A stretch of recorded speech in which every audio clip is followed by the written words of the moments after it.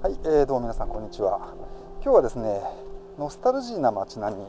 を映像で、まあ、カメラで捉える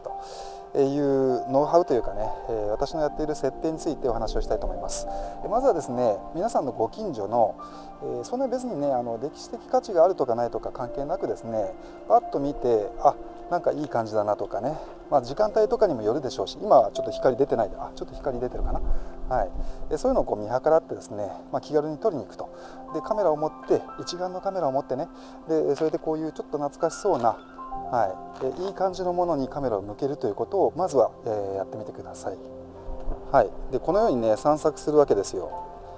でね時刻が今4時前ぐらいでちょうどいい時間帯じゃないですか。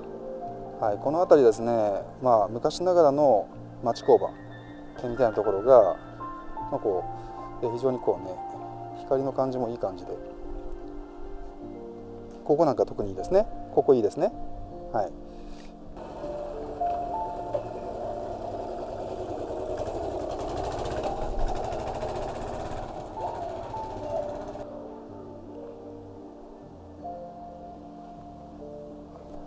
この道なんかもねすごい懐かしい。懐かしいというかあのー、昔はねこういうのすごくいっぱいありました。先日もちょっとお話したんですけどあのー、なんですか繊維の町一宮なんで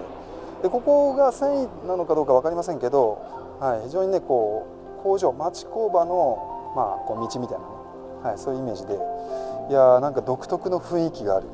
はい、こういったところはガンガンねやっぱ撮っていくとカメラ回していくということですね。でおすすめなのはねログのオーバー露出です。私は α7S3 で S ログ2で撮ってるんですよ。それをちょっとオーバーめの露出で1.7段プラスとか2段とかねプラスにしてで撮影すると。いうのがおすすめです。で、えー、今日もねやっぱりね ND フィルター使ってます。ND8 をね内蔵クリップフィルターとしてマウントの中に入れてます。はい。こういう電柱もすごくいい感じですよね。で極力ですね、まあ、撮って出しとかじゃなくて私の場合は10ビットで撮って10ビットで撮ってで後からカラーグレーディングします。カラーグレーディングね、えー、お知りになりたい方はプレミアのいいプリセットがありますのでそういったものを組み合わせてね色を作っていくと。で今ね、えー、大通りというか、はい、出ました。いやーなんかねこの辺りはすごくね私よく通うんですよね。これなんでかっていうとですねあちら斜め向かいに私がよく行く焼肉屋さんがありましてその近辺がねまあよくね焼肉屋さんで待ちの時に、まあ、このように並ぶんですけどあの待つんですけどでその時にですね、まあ、よくこの辺を散歩するということでまあ被写体はいろいろですけどまあ、こんな感じでね、まあ、錆のある質感であったりとか壁のね色合いだったりとか濃淡とかねそういったものをターゲットにですね、まあ、ちょっとこう興味の引くもの面白いものがあったらどんどんカメラを向けていくという感じがいいですかね。うん、それとかね、まあ、こういった看板とかねポスターとかねポスター、まあ、このポスターはちょっと見にくいですけどすごく大きくはっきりとね書いてるような文字がはっきりね主張してるようなものがあるじゃないですか。ああいうのはね僕はすかさず取りますね。でそれ自体はでそのポスター自体は無意味なんですよ。だけどそういうものを拾い集めることによって後から意味を、まあ、こねくりましてこう意味を作っていくみたいな、はい、そういうイメージですね。あの本当私のこうやっているスナップの、はい、やり方ですね。だから看板の人の顔とか文字とかで後からそれをクリップと映像クリップと組み合わせて何かの意味を作っていくみたいな、まあ、そういう面白さがありますね。あとねこういう、まあ、動き物ですね。動き物もやはりあのすかさず撮りますね。